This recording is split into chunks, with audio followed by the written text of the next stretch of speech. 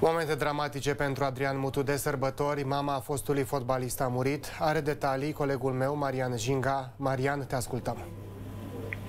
Da, bun găsit. Acest anunț a fost făcut în această dimineață de către sora fotbalistului pe rețea de socializare. A fost practic personajul cel mai important din viața fostului atacant al naționalei. Părinții lui Adrian Mutu au locuit uh, la Pitești până în anul 2021, atunci când uh, au vândut uh, tot ce aveau în orașul în care au stat și și-au cumpărat un apartament aproape de locuința lui Adrian Mutu, tocmai pentru a fi mai aproape de familia acestuia.